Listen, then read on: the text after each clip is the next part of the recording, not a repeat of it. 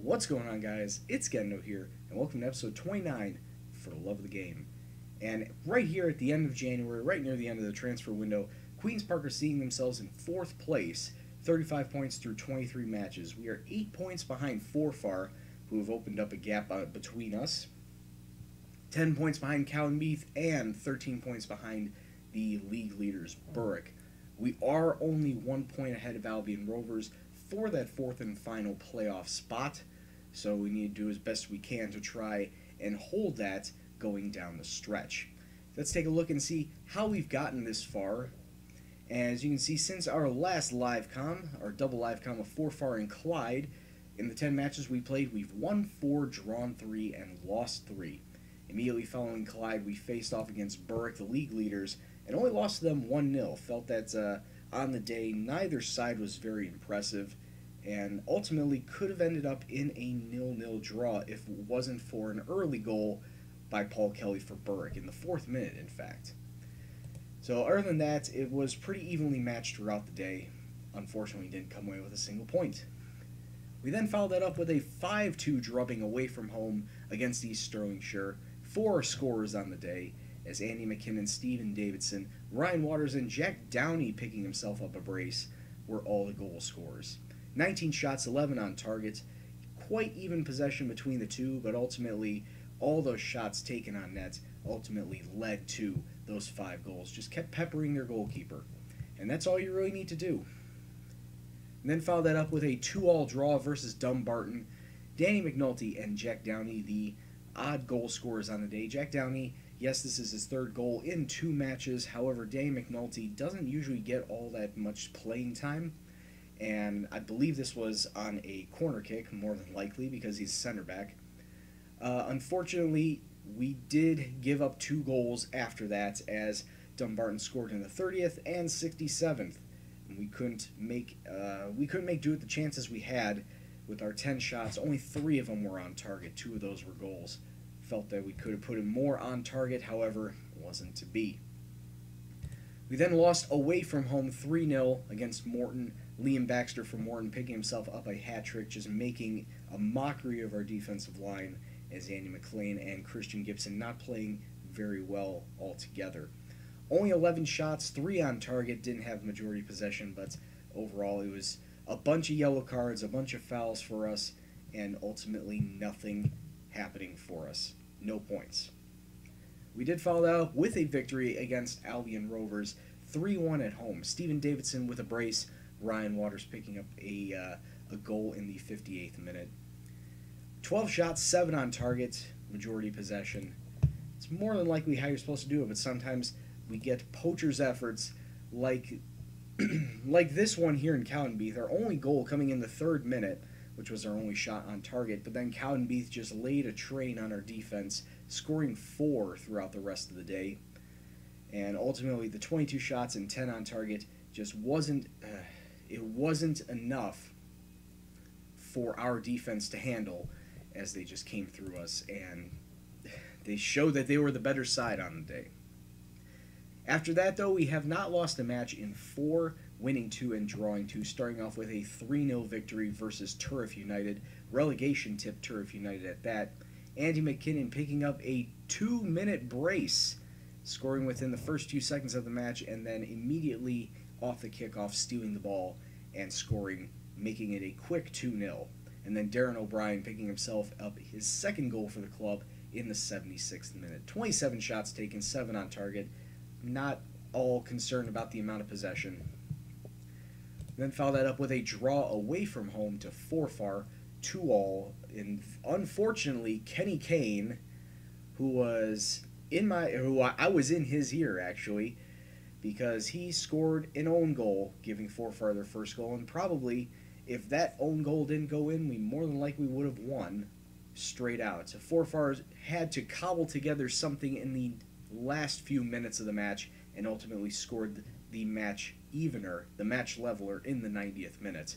On our side, Callum Hovarth and Darren O'Brien picking up the goals for us, relatively even in terms of shooting and in possession. The goal fest continues as this time it was a 3 all draw versus the league leaders of Berwick at home. Steven Davidson picking himself up a hat trick, a very late hat trick at that. And it was a very back and forth match in the last 15 minutes. Steven Davidson picking up two goals there in the 78th and 83rd. Berwick had to answer back both times, as in the 81st minute, Dougie Marr picking up one, and then uh, the eventual match ender as Darren Lavery picking up a goal in the 85th minute off of a penalty to end the score at 3 3. Once again, another even match in terms of scoreline and in possession.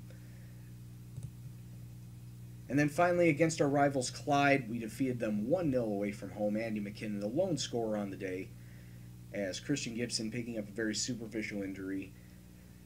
Overall, even shots, even shots on target, even possession, just even throughout, we were very lucky that we were able to score a goal to prevent another draw. Three straight draws in three matches. Not all that good. Definitely wouldn't have helped with the confidence and definitely wouldn't have put us in the spot where we are right now. I figure that down the line, it's going to be down to us and Albion Rovers fighting out for that fourth and final playoff spot. But before we get into the matches today of Dumbarton and East Stirlingshire, we must go over the transfer news because we are in the transfer window. And yes, once again, a couple of our players have been poached away. Taking a look at some of the transfers, you take a look at those out, and the first one you notice is Scott Buchan, our 17 year old goalkeeper, has been taken away from us by Ross County. And I really hope that he's doing well at Ross County, but uh, they don't want to play him. And he says it's in uh, their starting lineup, but uh, they just haven't played any of his matches, which is really unfortunate because he is a really nice goalkeeper and definitely one for the future. 17 years old. I'm trying to bring him back, trying to loan him back in, but uh, so far Ross County are not willing to give him up. Then we had Neil Higgins go to Falkirk, another youth prospect. He was 16 years old and uh, obviously picked up away by Falkirk. And then Ross County came in and snatched up another player from us, Alan Mitchell, a 16 year old center mid who, quite honestly, probably wasn't going to do much at the squad, so hopefully he'll do better there. Though with the loss of Scott Buchan, that's uh, took away all my uh, actual gold star goalkeepers. I'm, i was left with Stephen Barr, who was just scratching a half gold star. So I had to go out and pick up some goalkeepers on free. And if you take a look here, the two goalkeepers that I picked up on the exact same day were Greg Fleming and Chris Kettings. Taking a look first at Greg Fleming, he's a 34 year old Scotsman and a rather good player. In fact, uh, is definitely a lot faster than both Kettings and Buchan are. With a yeah six in pace, nine acceleration, but 12 in agility. His shot stopping ability is really good. 13 with reflexes. Great positioning, great mentals. So right now he is definitely going to be taking over as my starting goalkeeper, but I do want to get in some reps from Chris Kettings. You take a look at him Yes, he's only 28 years old and definitely not as fast as the other two. That's where he's lacking. However, he is better in terms of mentals as well as communication. Shot stopping is a little better as well. 13 with the command and area, 13 with the reflexes, 11 with one on ones. Like I said, the one thing that is lacking on his side is the pace. He's got a 4 in acceleration, 8 in pace. Definitely not as fast as Fleming, but like I said, I'm going to try and rotate in those goalkeepers just to you know give them some even playing time since they both are pretty even. All right, so let's get into today's matches. First, we are going to be at home versus Dumbarton, and they're going to be coming out with a 4-5-1 formation. We're sticking with our 5-2-3, and the lineup for today is that Chris Kettings in net for his debut. McLean, McNulty, and Gibson the back three. The two wing backs are Hovarth and Kelly. Two center mids will be Kenny Kane and Steve Mullen, and the three up front Waters, Davidson, and McKinnon. Let's keep this run going. Four matches unbeaten. I'd like to get a win. Draw's fine too, but let's try not to get a loss. Let's keep in fourth place. So let's kick off and see what happens. All right, and we kick off. We are going to be in the black and white hoops. A little bit of a kick clash almost as Dumbarton are coming out in all whites. But you can tell the, the two of us apart, if only for a little bit. Steven Davidson picking up a knock early doesn't really affect him all that much, it looks like. Almost 20 minutes gone, though. Time is really flying by here. We get a deep throw in. McLean into Kenny Kane, who throws it in, but nobody's there on the end of it. We do keep possession, though, with McNulty having to go all the way back and then tr- throws it all the way forward to Waters. Waters making a very bad cross slash shot as it's picked up easily by the Dumbarton keeper. There's one thing that's been a, a big problem this season, and that has been possession of the ball. As you've noticed with a lot of the matches that I've shown, we always lose the possession battle, where we, it would be even to maybe about five to seven percent in advantage of the the opponent, just because we don't know how to hold on to the ball.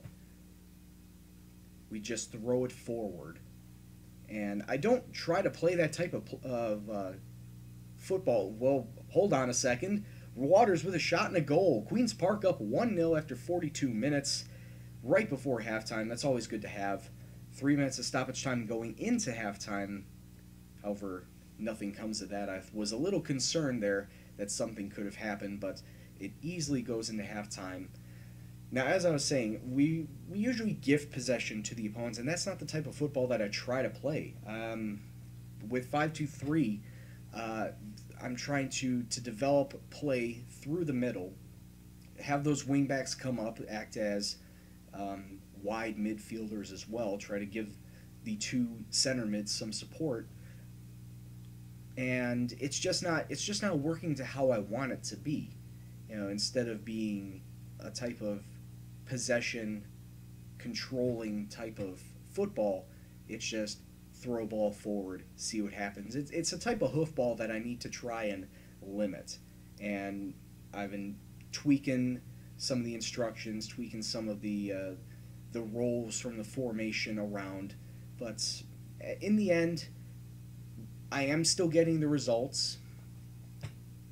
And I hope I continue getting the results here today. As everything is doing okay. Just keep it up but it is something I do need to address going forward if I want to, uh, if I do in fact go up into the championship or face higher ranked opponents. I need to develop a better formation. I need to develop a better strategy. What? That was an own goal. Dumbarton getting that was a short angle shot that was tapped in by our defender that should be credited as an own goal. Either way, I'm not too pleased about that whatsoever demand more from our boys. That should not have happened. We do get the ball here. Hovarth to Mullen through the center. 63 minutes gone. Here's that possession I was talking to you about. We're switching the ball to the flanks, trying to play through the center, and just finding the strikers up front. Like that, Stephen Davidson picking himself up a goal after picking up a knock as well. 2 1 after 64 minutes. Queen's Park are back on top. And right now I'm seeing two center mids that aren't looking all that hot. Stephen Mullen is going to come off for Ross Doherty. I'm going to debate about keeping Kenny Kane on for now. Though if it turns out he's super knackered, super tired, I'm going to bring him off. And he's looking exactly that. So, Martin McNiff is going to come on for Kenny Kane. And uh, unfortunately, I'm going to have to play a defender out of position. Is Martin McNiff. Actually, undo Martin McNiff for Kane Kane. McNiff is going to come out for Christian Gibson. And then sitting in the center mid role is going to be Kenny O'Brien. Yes, he usually plays out in the wings or in the striker position. But today he's going to be playing center mid just to try and hold up play with 20 minutes to go, and oh, great. Something I didn't want to see another one of my players off injured. And uh, what are we going to do? What are we going to do? Kelly down here. I'm going to have to start. We're going to have to play like so. Actually, yeah, we're going to have to play like this and drop it back counter, get rid of all the attacking based um, strategies. So no push higher up. Play narrow though. Drop deeper. Exploit the middle. Get rid of those. All right. And actually be more disciplined. So we're going to have to go through these last 15 minutes with just 10 men on the pitch. Nine men on the pitch. What the hell is going on here? They're killing our guys. Kane's out injured. Gibson's out injured. Mullen's out injured. Now Waters is out injured. Oh, sorry, not the. Well, Davidson has picked up a knock. Uh, I was just going to say the other three were just subbed out, but that's two injuries. Now I got to deal with this last 12 minutes with nine men on the pitch. And so far, it looks like they're doing well. Four minutes of stoppage time. McNiff actually getting a free kick. What? we get a goal. We get a goal with nine men on the pitch in the second minute of stoppage time, and that's uh, is essentially going to be the game capper. 3 1 to Queen's Park. And Danny Kelly picks up a knock as well. Geez, Dumbarton are killing our guys. Absolutely killing our guys. If they can't win, they're going to try and decimate our squad. Though it doesn't matter at this point, Queen's Park have overcome the odds and even scoring with nine men on the pitch. McKinnon may make it four here, which would be absolutely hilarious, but it's a shot stopped by the Dumbarton keeper. This should be the last kick of the game as we are six minutes into the four minutes allotted of stoppage. Still going. O'Brien out on the wing. Just killing time here. Doherty taking a weak shot. That would have been amazing if he would have netted that. Two goals with nine men on the pitch would have been absolutely hilarious. And when is the ref going to blow this whistle?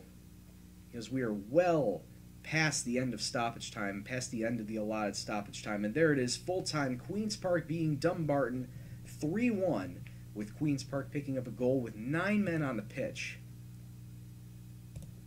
good win for us. Definitely a good win for us coming back and ultimately getting the victory. However, there are concerns on the pitch, and that is all of the knocks that all my players picked up. Who is going to be out? Nine man Queen's Park triumph against the odds. Thumbs up to that. Danny Kelly is out for two weeks. Okay, not all that bad. Stephen Davidson out three to four. Of course, my top goal scorer is out for a prolonged period of time. In three, four weeks, I think we can get by with him being out. I do have plenty other strikers that I can choose from, but uh, you know him not being here will put a little damper on what we're trying to do. But we'll be, I don't know, it's going to be interesting to see what we do as the transfer window is nearing its end. When we come back, it'll be the match against East Stirlingshire, transfer window would have already passed, so we'll see if any other players are poached away from our side. So don't go anywhere, and we'll be right back. So the transfer window is over now, and we did in fact make a signing right before the deadline day, taking a look at who we brought in. And his name is John Watson. He is a, a, loanee actually from Dundee. It's not a full signing, no free transfers. He is a in from Dundee, 18 years old, can play center mid, cam, and defensive mid. More than likely going to be using him in that center mid role. But in case I put in a formation where we have a DM or a cam, he's more than likely going to take up that spot. Overall, he looks pretty solid. Uh, his pace is an 8, agility 9, acceleration 10. He's got decent mentals, technically sound where I really want him to be with a 12 in passing and a 12 in technique. Um, I don't know. I took a look at my scouting, and he seemed to be the best option available in terms of center mid.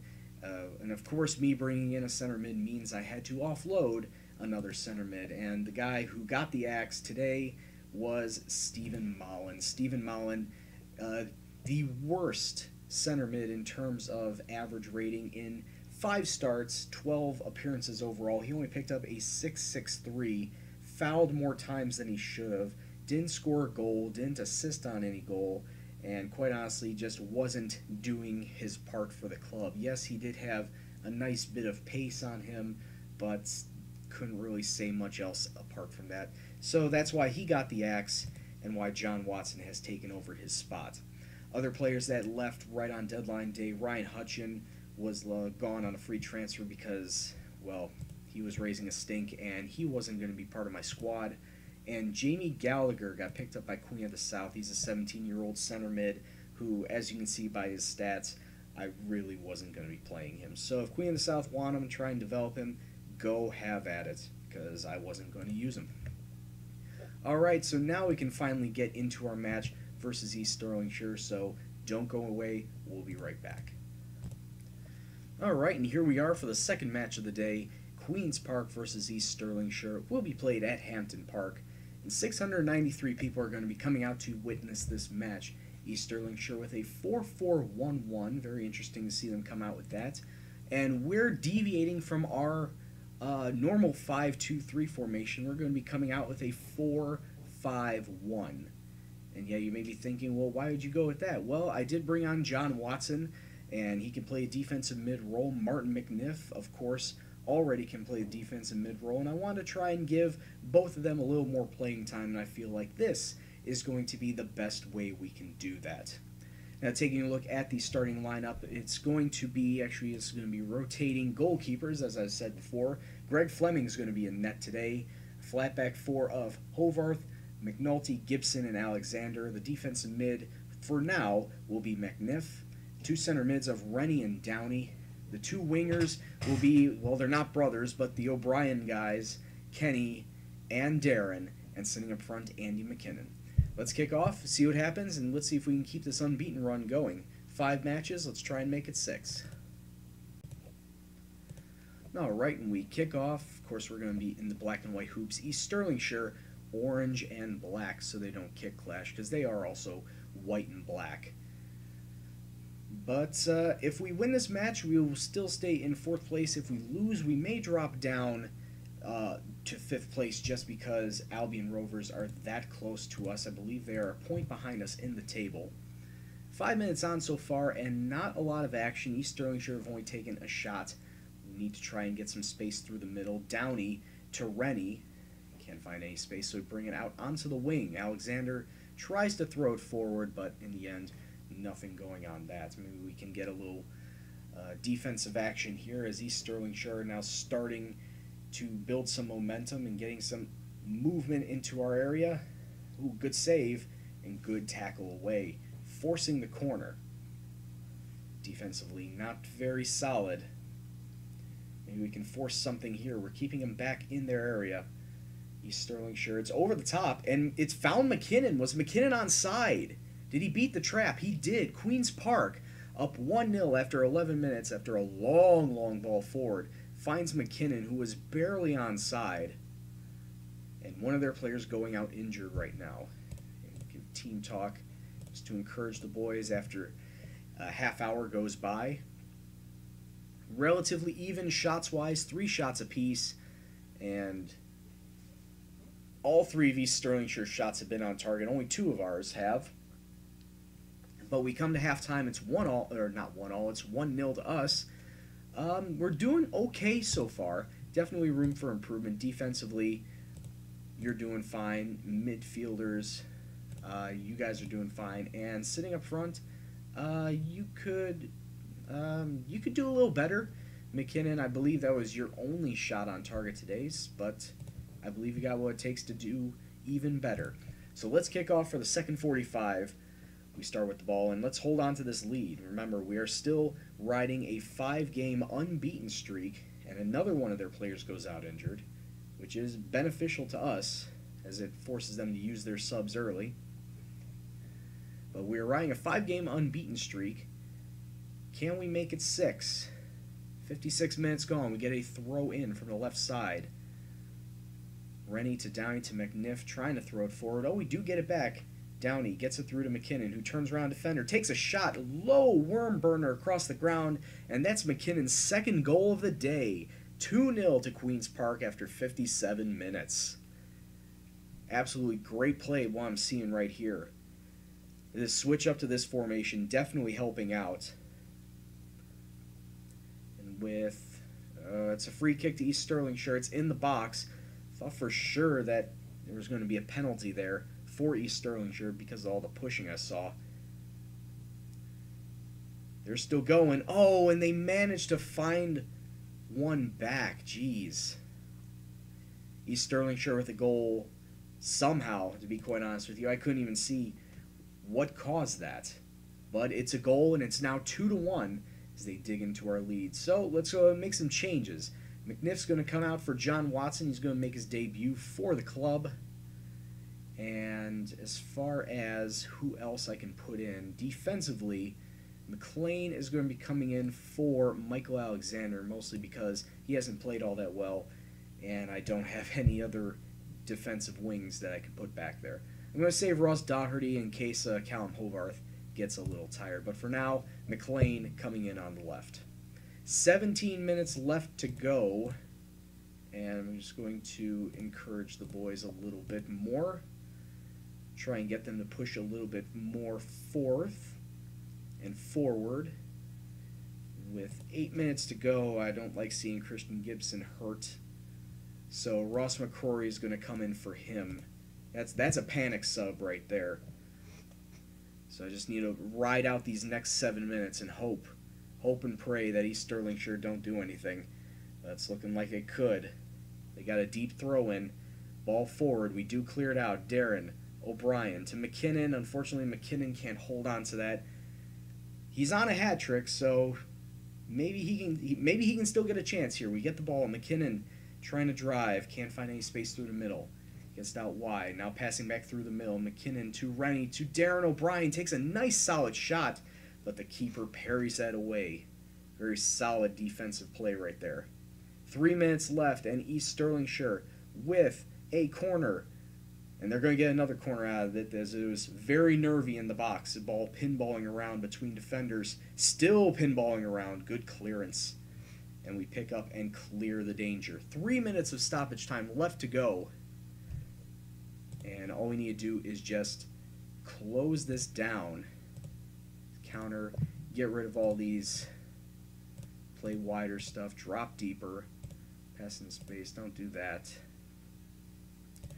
and tell everyone to tighten up. Play more narrow. For the last three minutes of this match, and they've all come and gone. Connor Rennie with a free kick that was probably the final kick of the game. And there it is, full time. Queen's Park defeating East Stirlingshire 2 1, and that brings our undefeated streak to six games. Good win, boys.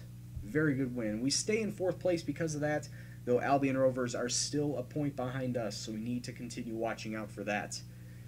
Forfar are now just five points ahead of us. Cowdenbeath seven and Berwick ten. That's a really even match throughout. Even shots, even on target. We had more possession. I think with this formation, it will cause us to get a little bit more control and have the ball under control a little bit more rather than using the 5 2 3 all the time, which is all out attack all the time. Yeah, but there it is, and there are the rest of the results. Dumbarton being Turriff. Turriff look really, really helpless this entire season. So more than likely they are going down. And Albion Rovers being Clyde, that's why they are still sticking with us. Everyone else looks okay. So let's take a look at the schedule and when are we going to be coming back? Oh, actually, uh, we're right near the end of the season. We just have 11 matches left. So that means the next two matches when we're going to be coming back will be the last two of the season. Albion Rovers and Morton. Albion Rovers home and Morton away. Hopefully, we'll still be in the promotion playoff zone when we get to that. Otherwise, it'll definitely be an interesting match day to try and see us fight to stay up in that zone or to fight back into that zone, depending on how the uh, the next few matches go. But until that time, I'd like to thank you very much for watching. If you liked what you saw, please hit the like button and subscribe if you're new. Comments, suggestions, questions, anything else, please leave in the comment box below. But as always, this is Gendo, and I'll see you in the next video. Take care, and peace out.